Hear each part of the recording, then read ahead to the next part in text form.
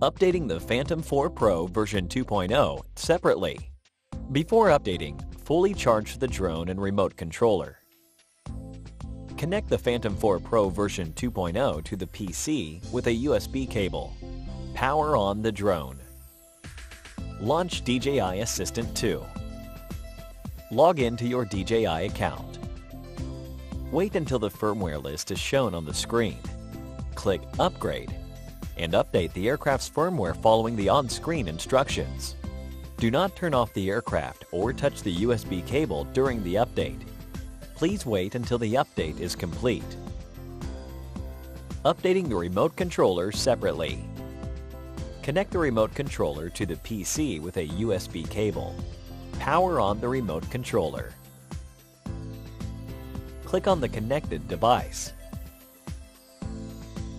Click Upgrade on the firmware update screen.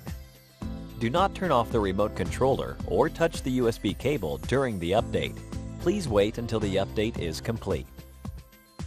Updating the Phantom 4 Pro version 2.0 and remote controller simultaneously. Connect the remote controller to the PC with a USB cable.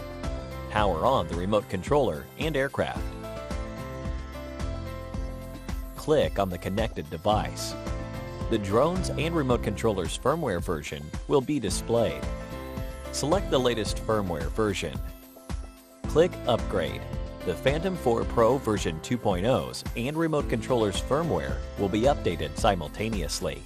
If the update fails several times, or the drone cannot be linked to the remote controller as the aircraft's and remote controller's firmware versions do not match, it is recommended that you update them to the latest versions separately.